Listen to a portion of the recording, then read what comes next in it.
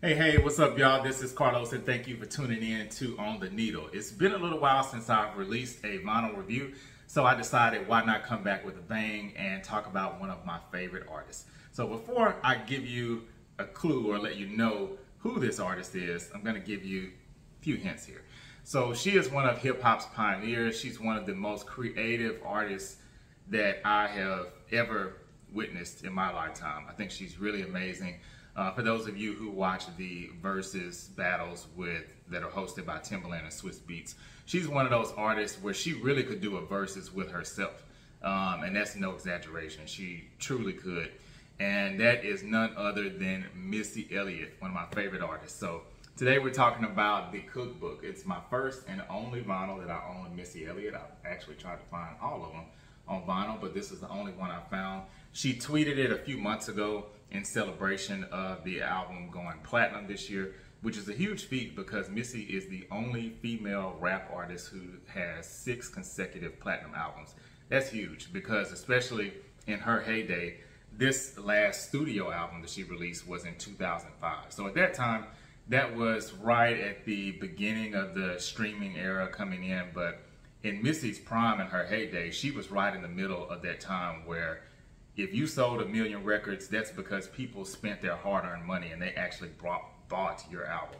You know, they're spending anywhere from ten to seventeen dollars uh, purchasing a cassette or a CD to support you. So, in that time, that was more of a pure sales era. So I feel like now, while it's definitely great that you hear of artists that are selling a million, two million, three million records, uh, people just really aren't putting up those kinds of numbers in pure sales anymore um, unless you're somebody like maybe an Adele. And even, to be honest, I don't even think she's putting up those types of numbers um, just, you know, right out the gate. So, Missy, I, this cookbook album, I'm telling you, I love all of her albums, but I have to say, if I had to pick one that's my favorite, this one might be it. Um, the reason why is because I feel like Missy is such a conceptual artist. Everything she does is with purpose. Even when you see her music videos, I mean, it's just light years ahead of what everyone else is doing and what they're thinking about. I mean, she's just really so far ahead of her time to me.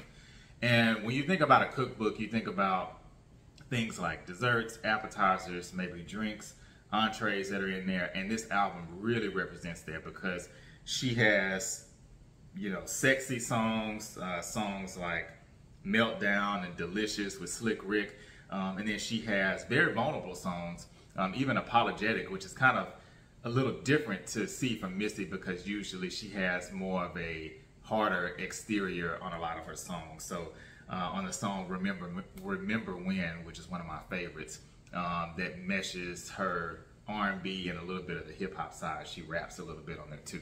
She's asking for forgiveness for cheating on the person that she's with, and even songs like "Time and Time Again" is a slow jam but it's kind of hard, edgy. Again, it mixes that R&B and the hip hop element.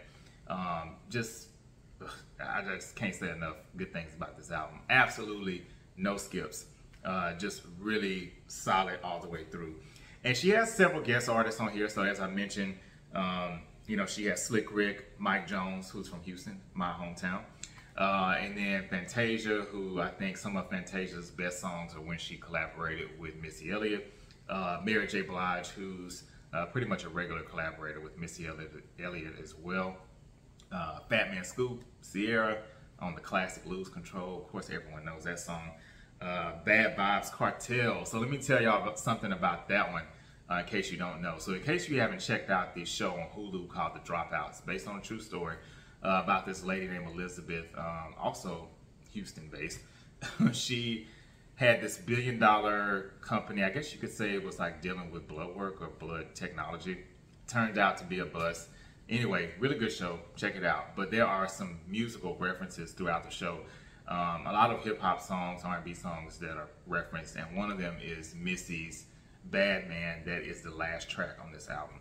So what's so great about that is Cookbook was released in 2005. So we're talking about an album that has a song selected and picked out for a show that came out in 2022. We're talking nearly 20 years later of an album that still has this cultural impact. Um, and it wasn't even a single. That was one of the album cuts. So just really just shows her artistry.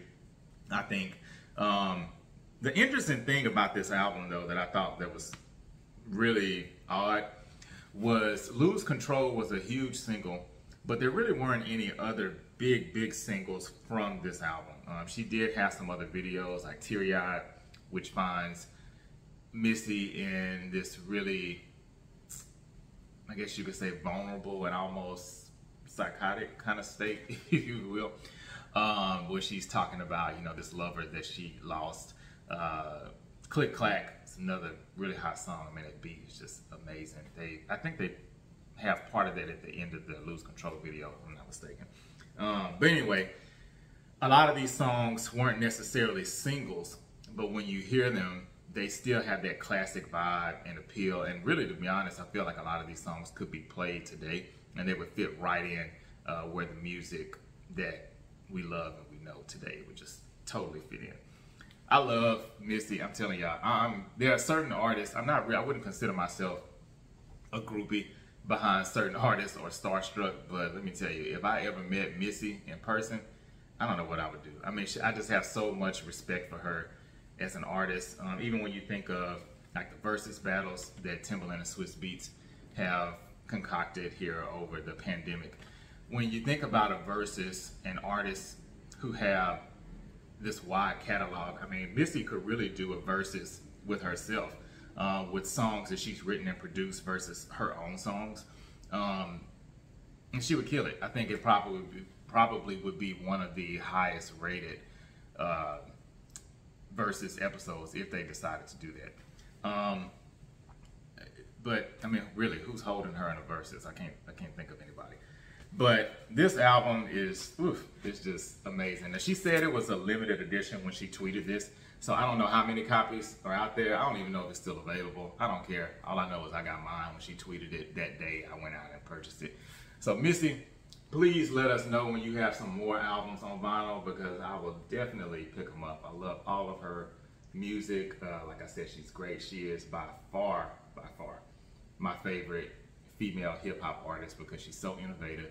She doesn't have to depend on selling sex and things like that. Nothing, not a knock against those artists who do, but she even talks about sex and has sexual songs, but it's in such a way that it's just unheard of, unconventional, um, in a way that just makes you feel good, and it, it just I, I just can't explain. I can't say enough good things about Missy.